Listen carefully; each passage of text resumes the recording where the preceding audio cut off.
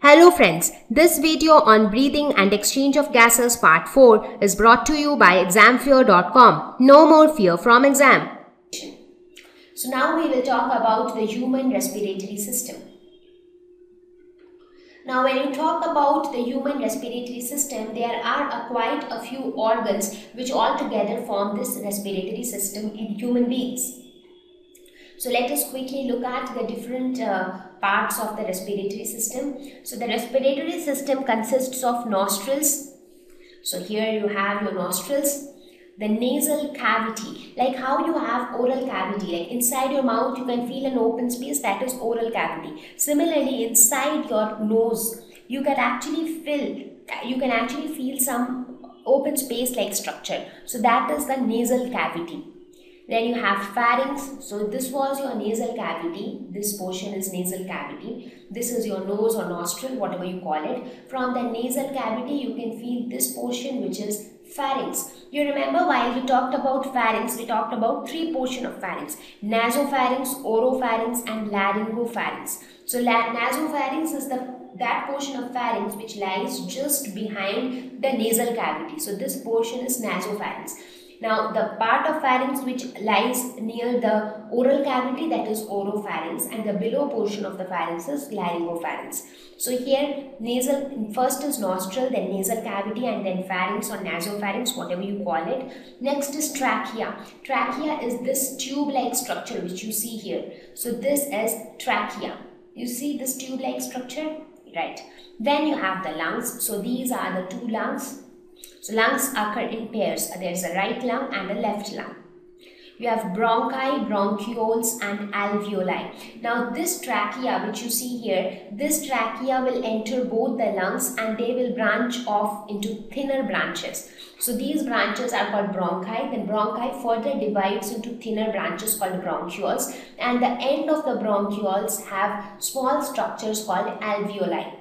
So all these structures together constitute the respiratory system. And when we breathe in, so the air actually reaches the alveoli through this path. Like first it reaches the nostrils then it goes to nasal cavity then pharynx then trachea then to bronchi bronchioles and finally the alveoli. And alveoli is the place where actual exchange of gases take place. That means this is the place where oxygen which is taken in is sent to the blood and carbon dioxide which has which was a byproduct of cellular respiration comes from the blood to the alveoli. So once the carbon dioxide reaches the alveoli alveoli is the part of lung. So once it reaches the alveoli means it reached the lungs and then from alveoli it again follows the same path to be thrown out of the body through the nostrils. So now we will discuss about each of these parts in detail so let us start our discussion with nostrils and nasal cavity. So let us look at nostrils and nasal cavity. So nostrils, they are the openings through which air is taken in. So if you look at your nose, you actually see two openings. So they are the nostrils. So there are fine hairs present there which filters the air which we take in. So you can actually observe the small hairs which are present in the nostrils. So they are used to filter like whichever air we are taking in, whatever impurities or dirt is there, it actually tries to stop them. So in a way it is filtering the air which is being taken in. The next is nasal cavity. The way a mouth opens into oral cavity in a very similar way nostrils open into the nasal cavity. So here this is a cavity where the air reaches through the nostrils. Now if you see here you might uh, see here that this is your mouth oral cavity and this is your nasal cavity. So the mouth cavity and the nasal cavity they are separated by a bony plate. So here you look at this this portion is a bony plate which separates the nasal cavity from the oral cavity. So again here in the nasal cavity there is a central septum which separates the right and left air passages dividing the two nostrils. So this is how the two nostrils look like. These are the two holes which you see in your nose.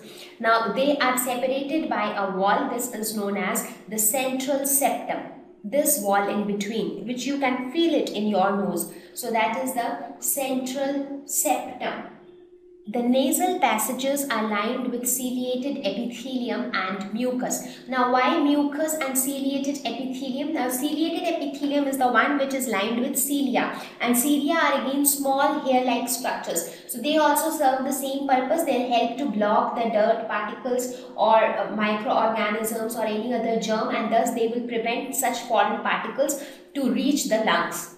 So that is how it will protect the uh, respiratory system from any foreign particles. What about the mucus? Mucus is a slimy substance. It will actually help to moisten the air. So it will make the air more moist and it also helps the air to move down. It is a slimy substance as I said.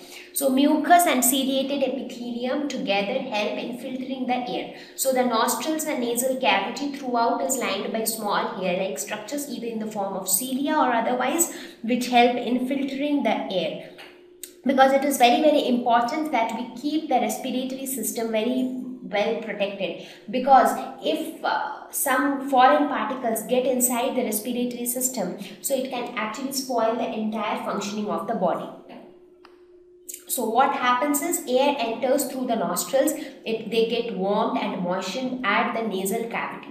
So nostrils just act as the entrance and the nasal cavity actually help to filter the air to warm and moisten it with the help of mucus and the ciliated epithelium.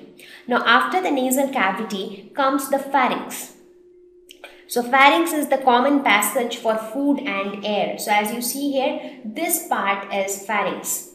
Now even in this part it is divided into three parts. The part just behind the nasal cavity is nasopharynx. The, that portion of pharynx which is just behind the oral cavity that is called oropharynx and the portion of pharynx which is near the larynx is known as the laryngopharynx.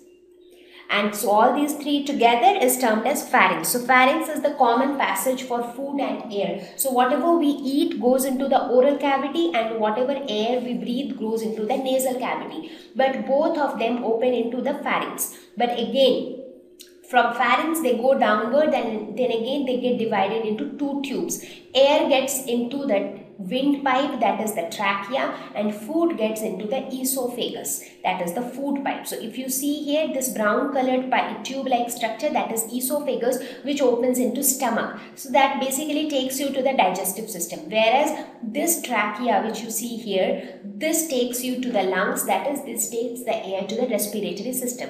Now enough care should be taken that food should not get into the windpipe because windpipe cannot manage food and once food enters into the windpipe it can actually cause choking and it can lead to death. So now food goes to the esophagus and air goes into the trachea. So trachea lies in front of esophagus as you can see in this picture. Trachea, uh, uh esophagus is just behind the trachea. Now the question is, as I said, that food should not enter into the trachea. So who prevents uh, that who prevents food from entering into trachea. So for that we have a cartilaginous structure known as epiglottis. So here if you see here you have a brown colored structure like this here right? So this structure is nothing but it is like a flap kind of a structure which remains closed all the time and it opens only when air has to pass through the trachea.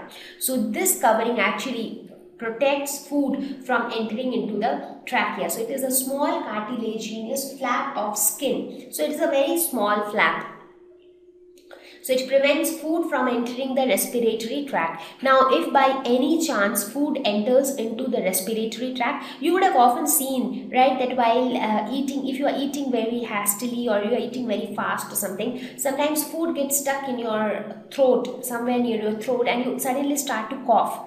So even that happens when a minute particle tries to get inside your trachea and you suddenly start to feel suffocation. So when you actually start coughing, that coughing actually brings out that food material outside and as a result your respiratory tract is uh, like not damaged but in case the food gets into the respiratory tract it can lead to death so epiglottis perform a very vital function without which I mean, there will be a lot of confusion. The food and the air, they will not know which way to go. Now, since both food uh, and air both of them have a common passage that is the pharynx. That is why you would have often see that if somebody closes your i mean if if you try to press your nostrils really hard such that the two nostril openings get closed what happens?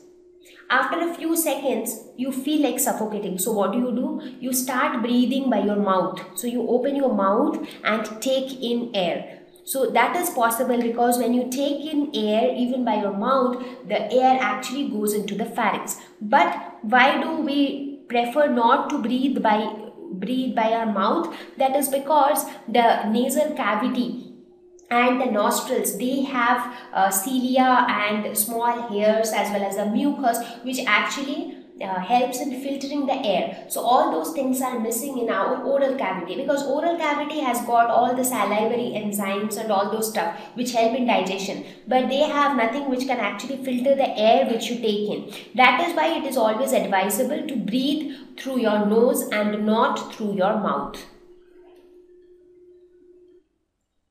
Thank you. Please visit www.examfear.com to watch more videos, attempt free online test, get free study material, find tutors and mentors. Thank you once again.